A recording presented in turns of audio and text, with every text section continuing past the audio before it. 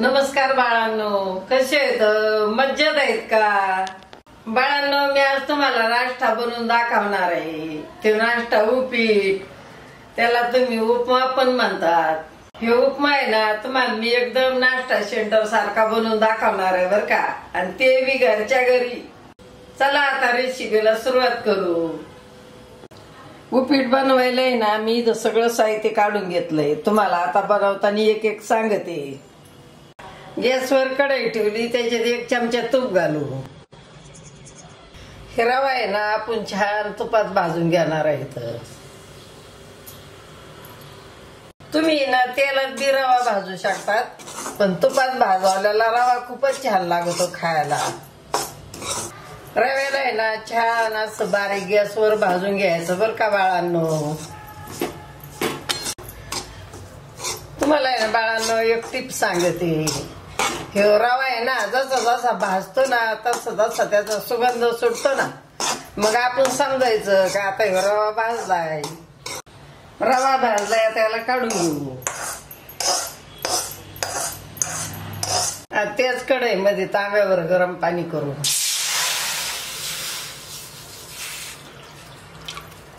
पाणी गरम झालंय याला काढून घेऊ.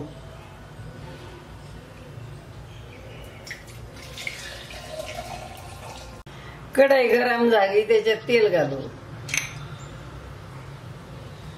सुरुवातीला शेंगदाणे तळून घेऊ. शेंगदाणे चांगले लाल रंगावर तळायचे. तळले आता यांना काढून घेऊ.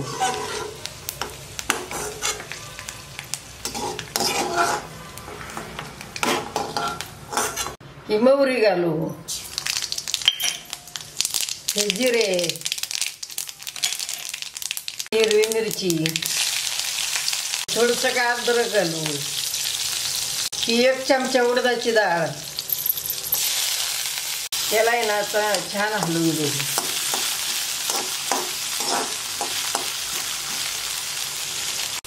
हा कढीपत्ता.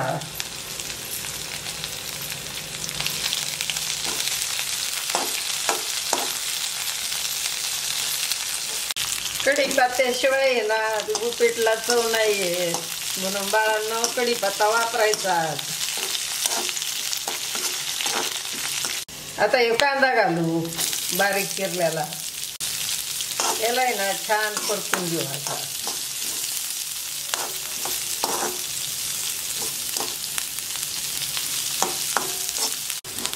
कांदा छान परतलाय आता हे रवा घालू.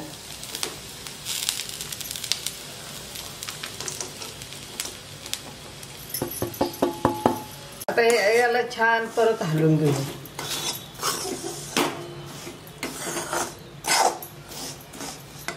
याच्यात चवीप्रमाणे मीठ घालू.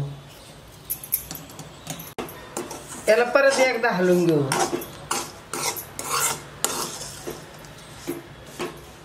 त्याच्यामध्ये ना एक कोमट पाणी घालू.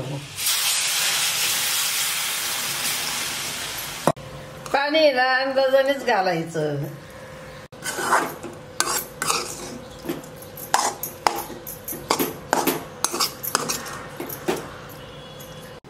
आणखीन थोडं पाणी घालून.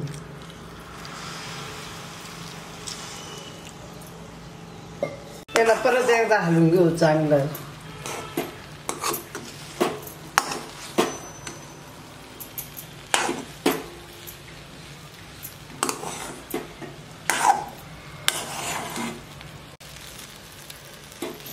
त्याला आहे ना असं व्यवस्थित हलवायचं मग खाली लागायचं नाही.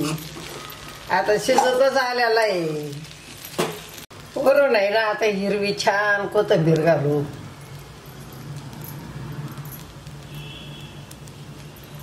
गॅस बंद करू आता आपलं उपीट तयार आहे.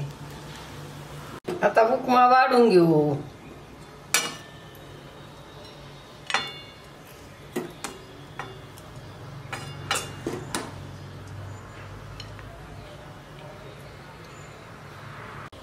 या बाळांनो गरमागरम उपमा खायला. किती भारी झाला. एकदम नाश्ता सेंटर सारखाच झाला आहे. आवडलं का बाळांनो तुम्हाला आजीचा उपमा? तुम्ही पण आजीसारखा उपमा घरीच बनवा. आणि तुमचा उपमा कसा झाला? मला कमेंट करून सांगा. आणि व्हिडिओ आवडला ना तर पटपट लाईक करा आणि शेअर करा. आणि चॅनेलला माझ्या सबस्क्राईब करा. आणि घंटीचं बटन पण दाबा. आणि हसा खेळा खूप खूप मजा करा. चला आता भेटू पुढच्या व्हिडिओमध्ये. बाळांनो आपल्या आजीचे आहेत ना घरगुती गावरान पद्धतीने बनवलेले व्हेज आणि नॉन व्हेज आपल्याकडे आहेत ना असे भरपूर सारे मसाले विक्रीसाठी आहेत. हे सर्व मसाले आहेत ना तुमच्या आग्रहामुळेच बनवलेत मी. खाली मी आहे ना नंबर दिलेला आहे त्याच्यावर मसाले आहेत ना पटपट ऑर्डर करा. तुम्हाला मसाले कसे वाटले हे आहेत ना आजीशी शेअर करा.